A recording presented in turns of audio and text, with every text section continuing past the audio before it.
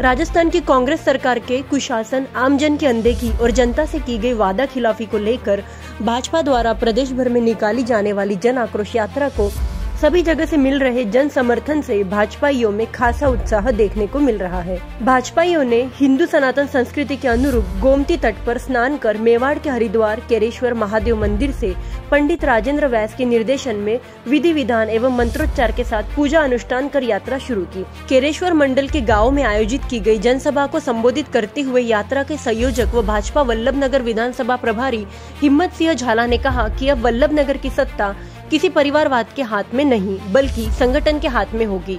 कार्यकर्ताओं ने कांग्रेस को उखाड़ फेंकने का संकल्प ले लिया है, और अब कांग्रेस के इस परिवारवाद की सत्ता का अंत होगा।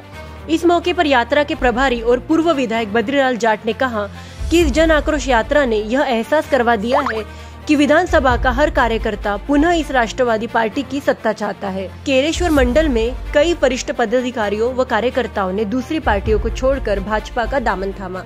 जिनका जाट व झाला ने भाजपा में शामिल होने पर स्वागत किया। इसके बाद यात्रा अमरपुरा पहुँची। जन चौपाल के बाद कानोड़ के सूरज पोल पर भाजपाइयों ने पुष्प वर्षा कर स्वागत किया।